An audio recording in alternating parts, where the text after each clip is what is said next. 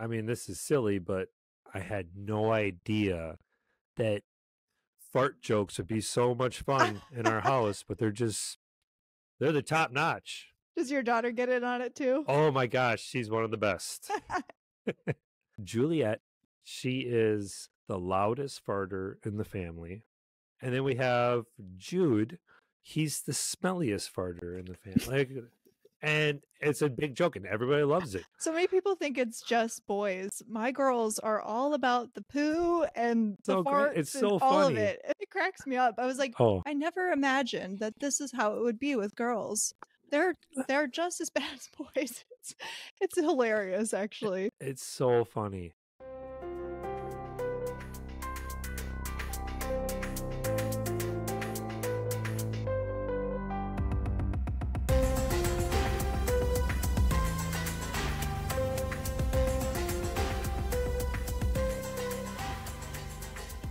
Hey friends, my name is Kelly, mom of two, and the host of Oh Baby I Had No Idea, the number one new podcast for parents. Today we are joined by David, aka Not Perfect Dad. He and his wife have four kids, aged eight, six, five, and four. He is from Wisconsin, and for work, he is a freelance videographer. So everything from wedding videos to commercials, and you can tell his videos are so good. So, due to the nature of his work, he gets to be at home a lot with the kids. So, he's kind of like a part time stay at home dad. And he started his page because he saw on social media a lot of videos about kids growing up quickly and how to be a better parent. So, he decided hey, I can do that too. So, on today's episodes, we are going to talk about his I had no idea moments, and trust me, you're not going to want to miss them. On next week's episode, we're going to be discussing the silent struggles of a dad. So, definitely stay tuned for that one as well. So, without further ado, let's get to it. All right, David, you are officially my first guest Yes. on the show.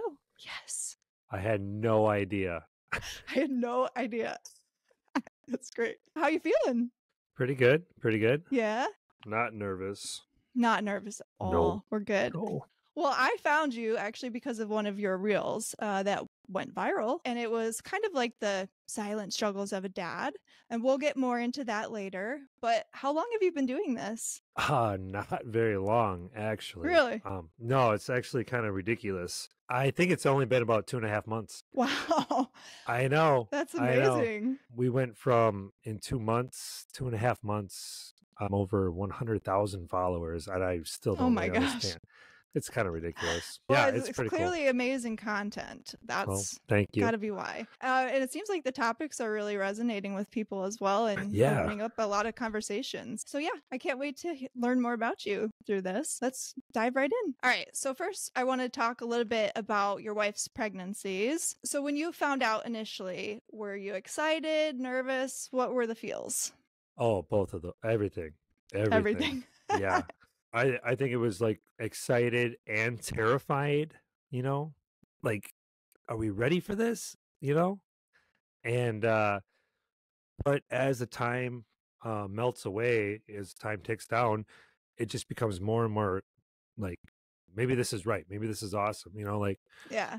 Was it it was- planned, unplanned? this was unplanned. The first one was unplanned. Unplanned. Yeah. Us too. Okay. Yeah. Gotcha. I had no idea we were going to get pregnant. That's probably the terrifying part. yes. I can definitely relate. When you found out that you guys were pregnant, what were your expectations of what that would look like? Sure. Um, I think me and my wife, we both had older siblings that had gone through pregnancy. Mhm. Um, and I think that's kind of a little bit of a help. And you know that someone else has gone through it, you know, like your older sibling who you think is a wuss or somebody like that, you know. so you think you can, you, you you're going to be okay. My initial or my expectations were, I guess, from from from television, from movies, from friends, Mhm. and things like that. You get the idea that it's it's kind of cool, you know, and it's kind of hard right. you know you get you get both of those things and i think i think it was like right on i i don't know i i mean maybe different from my wife uh i think it was right on as far as everything we felt all the highs and lows it was really cool So obviously for women it's difficult in like the Oh physical gosh. aspect, emotional, mental, all of that. So was there anything that changed on your end? i feel like without even knowing you become you have to become more supportive and more nurturing um, because they're going through something that's so dramatic Mhm. and so drastic on them that you just want to I mean, you can't go through it, so you have to do everything you can to help them through it. And whatever For it sure. is, you know. Um, So, what surprised you the most, whether good or bad, throughout her pregnancy? There's so many. Ev- so the first time we were pregnant, um, I wasn't a huge Harry Potter fan, and my wife was. And Okay. um, so she's like, "Well, why don't we watch them?" I'm like, "I guess." Like, we're not doing anything else. so then we watched Harry Potter, and you know, like when you're when you're busy or you're pregnant, um, you fall asleep a lot during movies. So it probably Yeah. took it probably took us like two months to watch the whole the whole series.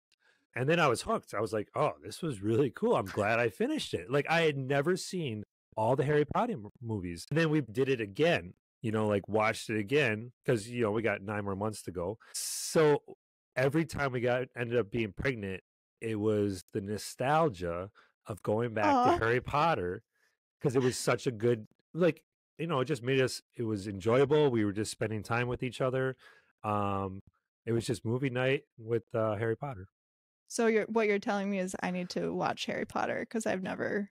Oh my gosh Seen any of them. probably a good idea Okay, I'm gonna have to do that. we still talk about it today like so like anytime um she she she asks do you want to watch harry potter i'm like are you pregnant I pray. You know?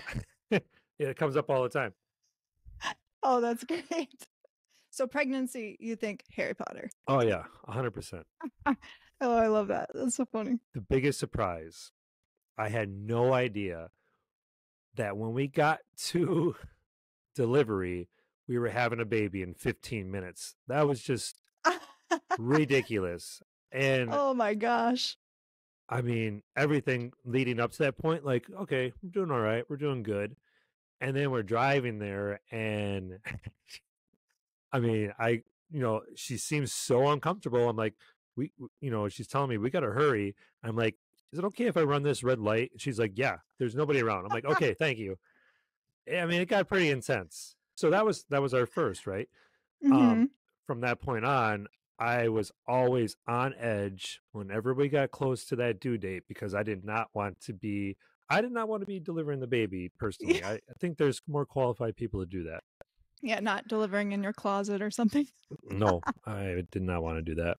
Oh my gosh. Oh, so it happened every time or no, um, okay. so that first one was 15 minutes, and but like the sec, second, third, I think the longest one was maybe four hours of just like at the hospital, and then like you know like half hour of labor. Like she was always okay. fast, you know. Like but Wow. at least we were there, you know. So next let's go on to the births. Um so obviously you said that they were Yeah. fast and they were all up. hospital births, yes, right? Yeah. So did you take classes beforehand? Just that one time, yeah, we did one. yeah, just the first um, time. Yeah. Yeah, the, the You're a first pro time. after that, right? so did you find them to be helpful? Um, you know what I found to be helpful about the classes that we took through the hospital was not so much like the labor delivery part because Mhm. let's just like honestly when you go into labor like just the rule books just go out the window just Yeah. forget about it like they told Right. us they told us you know go ahead make your make your cd or mp3 whatever um uh make your playlist of songs you want to listen to you know we had 15 minutes what what was that going to do for us you know like you know bring, bring you know pack your bag all this stuff hmm uh, I guess the pack the bags kind of good idea. Um, the thing that I found most helpful is they went into uh, after birth stuff, and as Oh, far as like yeah, like like literally like they they did some. It sounds lame now because I'm you know a seasoned professional.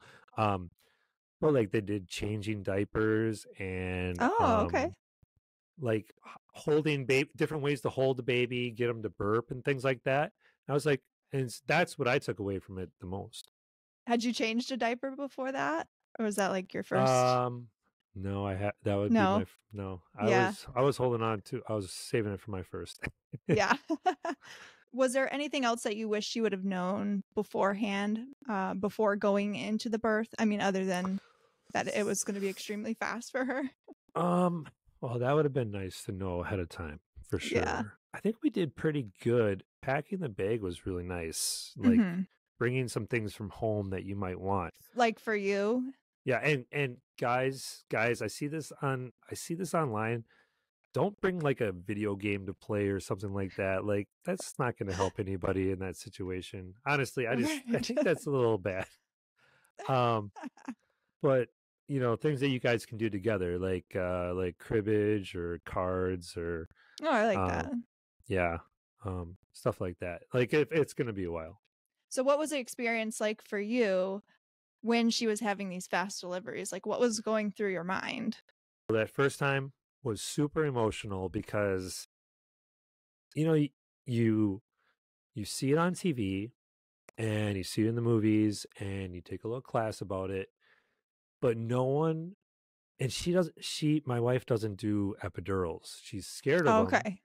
and she mm-hmm. also feels like she can do it without them but i was not prepared i guess this goes back to the other question i was not pre- prepared for how much pain she was going to be in and that was super hard to watch like you just want her to be okay you want her to be okay and then all of a sudden the baby's here and she's okay and everything is just so remarkably better you know like that was just absolutely crazy to me Yeah.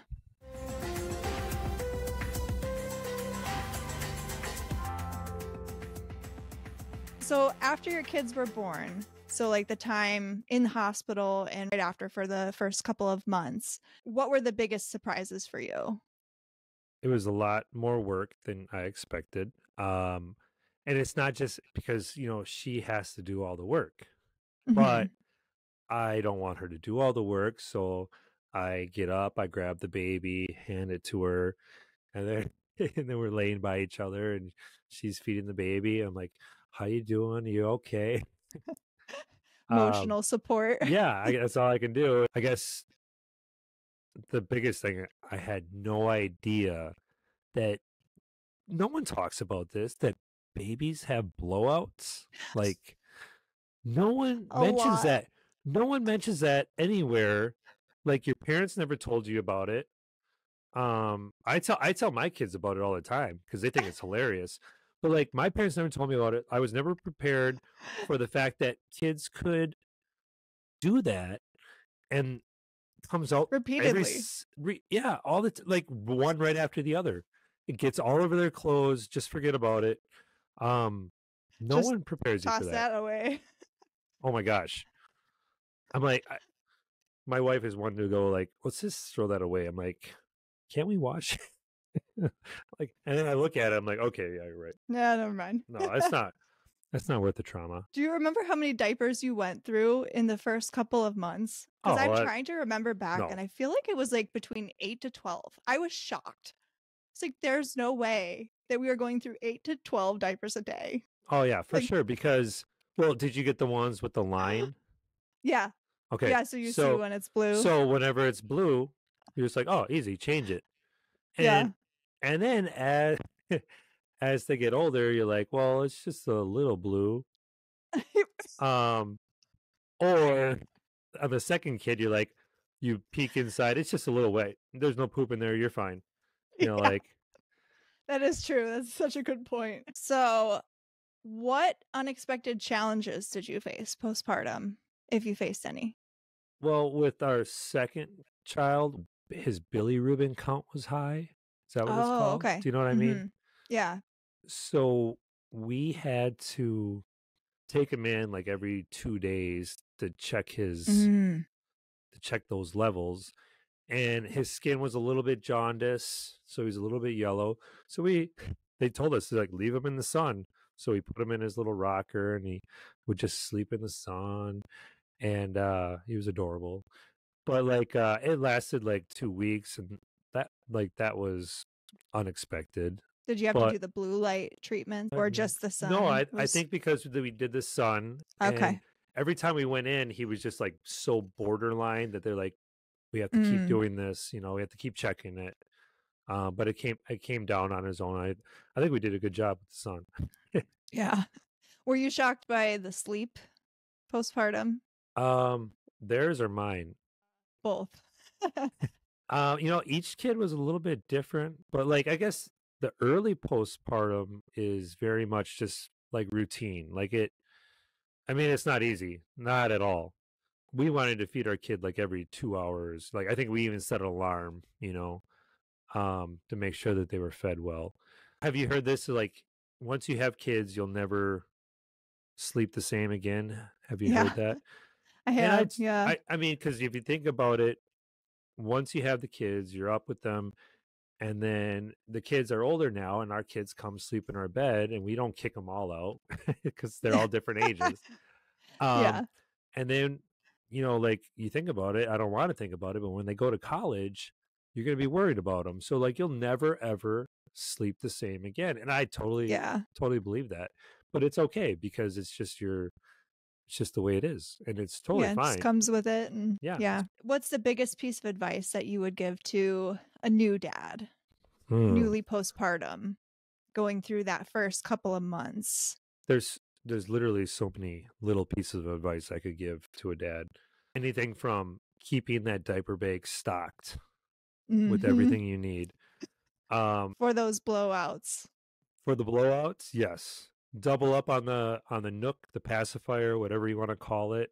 Yeah. smart. Um, you get your kid uh, a blanket or a binky or whatever. Double up on it because they're gonna lose it. You're gonna lose it. It's gonna fall out of the car. So there's one piece of advice: double up on everything. Uh, and the other thing is just make sure that you help your wife a lot as much as you can. Mhm. So obviously you have four kids, a lot of experience there. What has been the most uh, rewarding part about your parenting journey so far? the most rewarding part. So you could be so annoyed or so angry about something that's going on with your children, like they're not listening or they're doing something that's just completely bad. And then five minutes later, they tell you that they love you.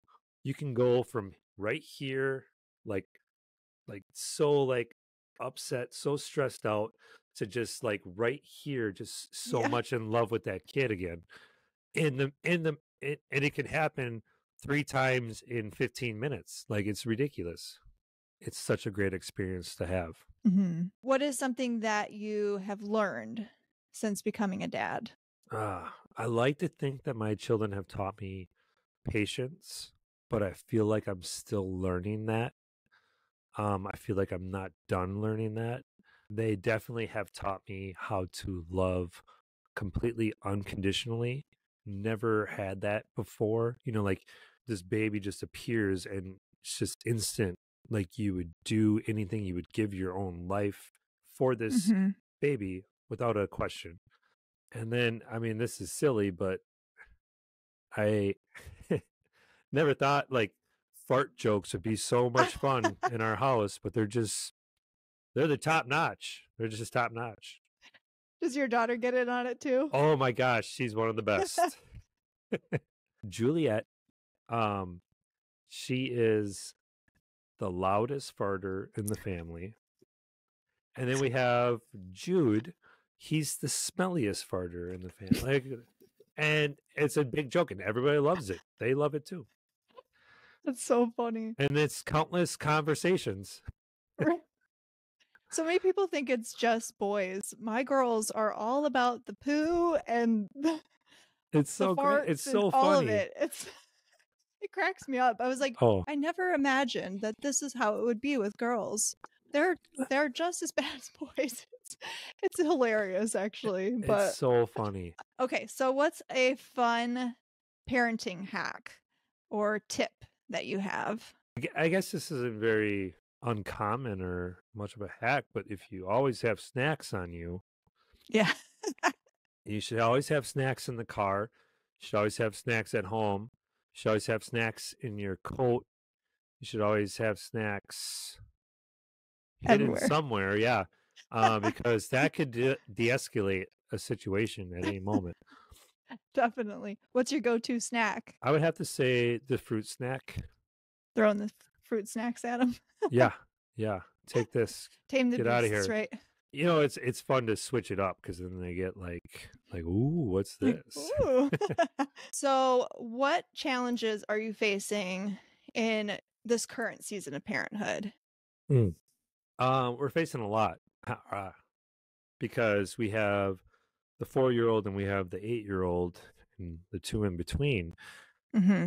So the challenges are you can't treat every kid like they're the same age when they're so close together, or, you know, like you can't have the same expectations for every kid. Even the oldest kid that is supposed to be, you know, the oldest and probably knows the most and most well behaved, he struggles with everything just like everybody else.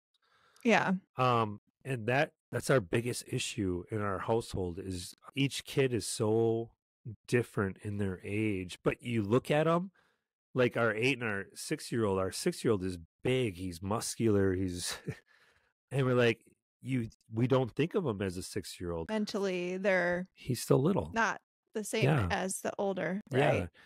Um, that's one of the toughest things. And then Mm-hmm. And then our littlest, oh my gosh, he's just there's just so much emotion inside of him. And he loves you and then he hates you. It's just ridiculous. What has been the most surprising part throughout parenthood so far for you? oh gosh. It's a loaded question, right? Wow. It's a big question. I mean, it's I kind of feel like I'm touching on something we're going to talk about here, but like I had no idea that their emotions would have such a big effect on me. Never would I have seen that coming. Once they have their emotions and their it's it's not just their tantrums, they just can't explain what they're feeling or how to deal with it. Um Mhm. dealing with that in the beginning is easy, but then the more it happens, you just you want them to fix it and they're not ready to fix it. And um that is one of the hardest things and the most like the most surprising hardest things you can deal with. Mhm.